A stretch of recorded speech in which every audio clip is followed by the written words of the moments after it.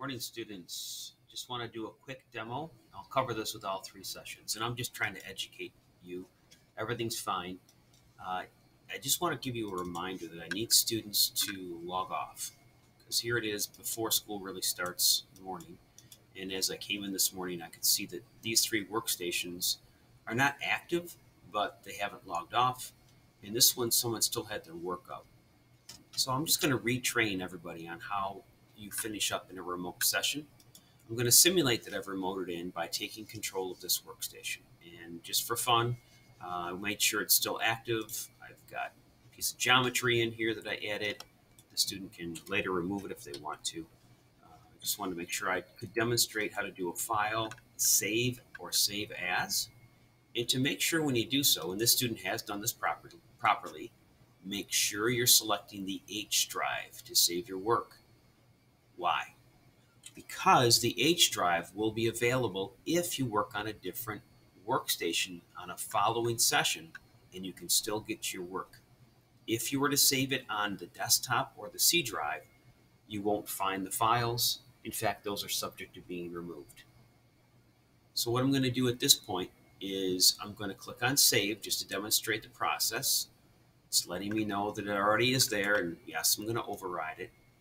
Now I'm done working in 3ds Max for the time being. The next step would be to exit any applications you have open. On this screen, this is where I need students to log off from the machines. To do so, you're going to select the Start button on the remote machine. Now note that there's also a Start button on my machine, so pay attention to which one you're grabbing. Grab the one on the remote machine you'll see an icon that looks like a person and your name should show up when you hover over it. By clicking on that, you'll get an option to do a sign out. This is the part I need students to attend to, is sign out of the machines when they're done. At that point, this machine is no longer in use.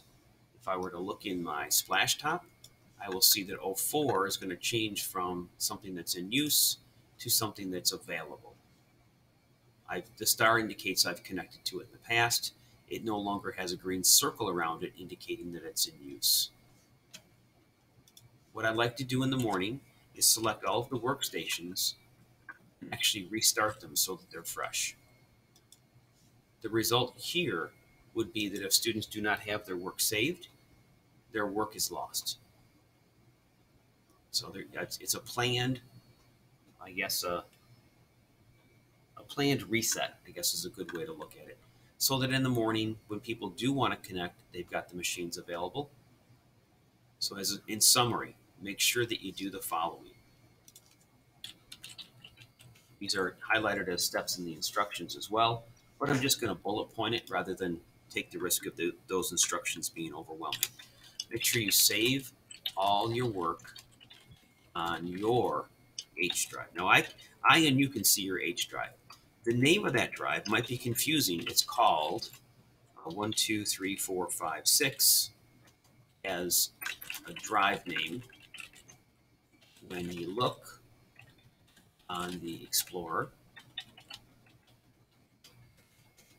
File Explorer, I should say, it is also mapped as the H drive.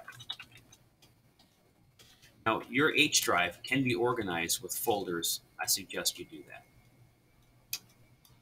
The next thing is, once you've saved your work on the H drive, is to close any and all applications you were using.